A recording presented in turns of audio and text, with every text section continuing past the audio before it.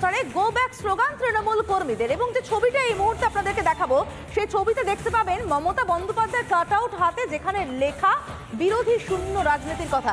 এই সেই ছবি দেখতে পাচ্ছেন অধীর চৌধুরীকে ঘিরে বিক্ষোভ এবং স্লোগান তৃণমূল কর্মীদের। দেখুন, মমতা বন্দ্যোপাধ্যায় কাট আউট যেখানে লেখা বাংলা বিরোধীদের বিসর্জন। অর্থাৎ বিরোধী শূন্য রাজনীতি কোথাও বারবার বারবার দেখতে পাওয়া যাচ্ছে অধীর চৌধুরীকে অধীর চৌধুরীকে ঘিরে স্লোগান।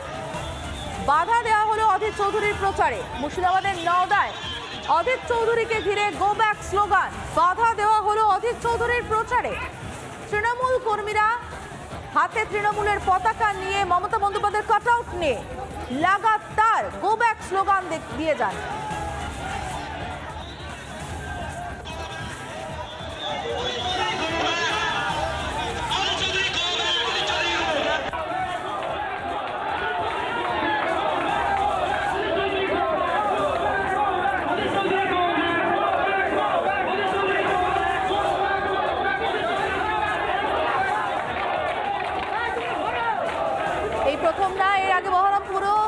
অধীর চৌধুরীকে বাধা দেওয়া হয়। পর পর বাধা অদিত চৌধুরীর প্রচারে। কি বলছেন? অদিত চৌধুরী, শুনে নেব।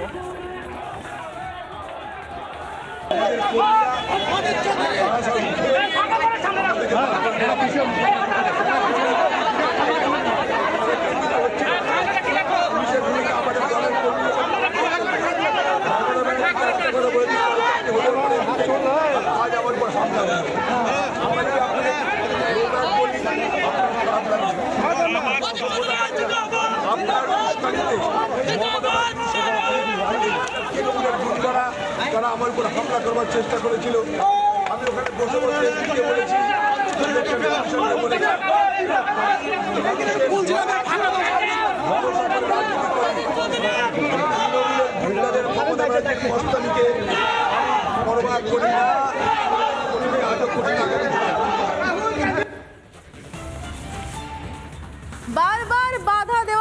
বিরোধীদের, তৃণমূলের বিরোধী শূন্য রাজনীতির অংশ এটা। সব দেখলেন সিপিএম এর রাজ্যসভার সাংসদ বিকাশ রঞ্জন চৌধুরী। এবং একই সঙ্গে এই ঘটনার তীব্র নিন্দা বিকাশ রঞ্জন ভট্টাচার্য এবং মাফ করবেন, বিকাশ রঞ্জন ভট্টাচার্য এবং দক্ষিণ কলকাতার বিজেপি প্রার্থী দেবশ্রী চৌধুরী এই ঘটনা তীব্র নিন্দা করলেন। সমস্ত গো ব্যাক স্লোগান টোগান না, এগুলো সমস্ত অর্গানাইজ করা। সাধারণভাবে বিক্ষুব্ধ মানুষ কখনো এরকম জড়ো হয়ে এক জায়গায় গো ব্যাক স্লোগান দেন না? তারা বিক্ষোভ হয়তো বলেন যে আপনারা কেন এসেছেন ভোটের জন্য পাঁচ বছর, ইত্যাদি ইত্যাদি। আসলে তৃণমূল কংগ্রেস এবং বিজেপি উভয়ই কিন্তু আজকে ভারতবর্ষের বুকে যে ইন্ডিয়া নামক একটা সমঝোতা মঞ্চ তৈরি হয়েছে, সেই মঞ্চের ফলে আতঙ্কিত। অতএব তারা কোনো মতেই চান না যে সেই সমঝোতার পক্ষে একজন, দুজন, এমনকি তিনজন নির্বাচিত হন। তাই এগুলো সাজিয়ে এই সমস্ত বিক্ষোভ দেখানো হয়, যাতে প্রচার করা যায় মিডিয়াতে যে এখানে বিক্ষোভ হচ্ছে। আর এছাড়া অন্য কোনো কারণ নেই। আমি আবারও বলছি, গড় শব্দটা আপনারা ভুলে যান। এই যে গড় বলার একটা আদত না এই যে স্টাইল হয়ে গেছে, এটা কংগ্রেস জামানা থেকে। কংগ্রেস ভেবে নিয়েছিল ভারতবর্ষটা ওনাদের গড়, আজকের হিসাব দেখাচ্ছে আগামী লোকসভা নির্বাচনের রেজাল্টে চল্লিশটার উপরে পাবে। গড় বলে পৃথিবীতে কি হয়? অধীর বাবু যে ধরনের ভূমিকা পালন করেছেন সংসদে, বিগত পাঁচ বছর আমি নিজে সামনে থেকে দেখেছি। আমার তাতে মনে হয়েছে যে জনগণের ওনাকে রিজেক্ট করার সময় চলেছে অধীর চৌধুরীকে বাধা দেওয়া হয় প্রচারে। গো ব্যাক স্লোগান তৃণমূল কর্মীদের। এবং যে ছবিটা এই মুহূর্তে আপনাদেরকে দেখাবো, সেই ছবিতে দেখতে পাবেন মমতা বন্দ্যোপাধ্যায়ের কাট আউট হাতে, যেখানে লেখা বিরোধী শূন্য রাজনীতির কথা। এই সেই ছবি দেখতে পাচ্ছেন অধীর চৌধুরীকে ঘিরে বিক্ষোভ এবং স্লোগান তৃণমূল কর্মীদের। দেখুন, মমতা বন্দ্যোপাধ্যায়ের কাট আউট, যেখানে লেখা, বাংলা বিরোধীদের বিসর্জন। অর্থাৎ বিরোধী শূন্য রাজনীতি কোথাও বারবার বারবার দেখতে পাওয়া যাচ্ছে অধীর চৌধুরীকে অধীর চৌধুরীকে ঘিরে স্লোগান। বাধা দেওয়া হলো অধীর চৌধুরীর প্রচারে। মুর্শিদাবাদের নওদায় অধীর চৌধুরীকে ঘিরে গো ব্যাক স্লোগান। বাধা দেওয়া হলো অধীর চৌধুরীর প্রচারে। তৃণমূল কর্মীরা হাতে তৃণমূলের পতাকা নিয়ে মমতা বন্দ্যোপাধ্যায়ের কাট আউট নিয়ে লাগাতার গো ব্যাক স্লোগান দিয়ে যান।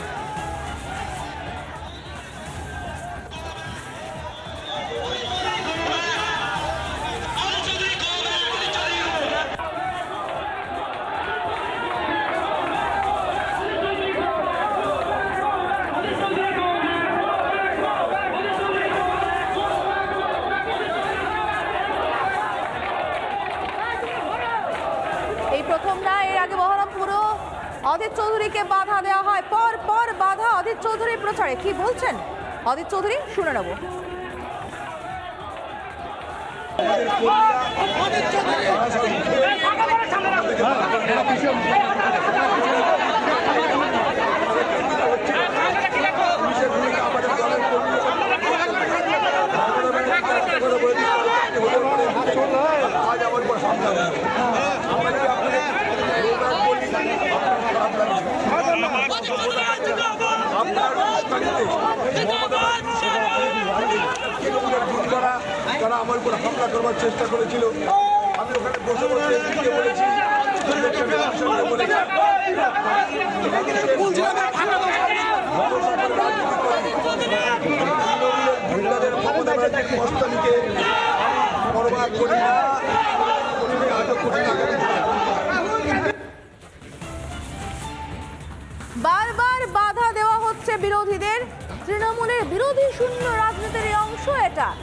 দেখলেন সিপিএম এর রাজ্যসভার সাংসদ বিকাশ রঞ্জন চৌধুরী।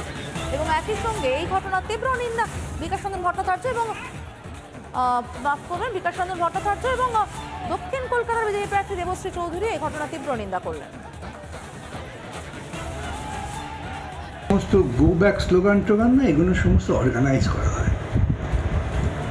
সাধারণভাবে বিক্ষুব্ধ মানুষ কখনো এরকম জড়ো হয়ে এক জায়গায় গো ব্যাক স্লোগান দেন না। তারা বিক্ষোভ বলে হয়তো বলেন যে আপনারা কেন এসেছেন ভোটের জন্য পাঁচ বছর ইত্যাদি ইত্যাদি।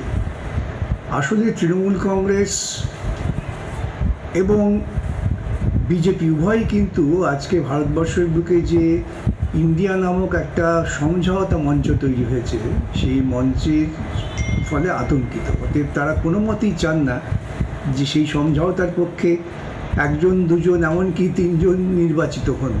তাই এগুলো সাজিয়ে এই সমস্ত বিক্ষোভ দেখানো হয়, যাতে প্রচার করা যায় মিডিয়াতে যে এখানে বিক্ষোভ হচ্ছে। আর এছাড়া অন্য কোনো কারণ নেই। আমি আবারও বলছি, গড় শব্দটা আপনারা ভুলে যান। এই যে গড় বলার একটা আদত না এই যে স্টাইল হয়ে গেছে, এটা কংগ্রেস জামানা থেকে। কংগ্রেস ভেবে নিয়েছিল ভারতবর্ষটা ওনাদের গড়। আজকের হিসাব দেখাচ্ছে আগামী লোকসভা নির্বাচনের রেজাল্টে চল্লিশটার উপরে পাবে। গড় বলে পৃথিবীতে কি হয়? অধীর বাবু যে ধরনের ভূমিকা পালন করেছেন সংসদে, বিগত পাঁচ বছর আমি নিজে সামনে থেকে দেখেছি।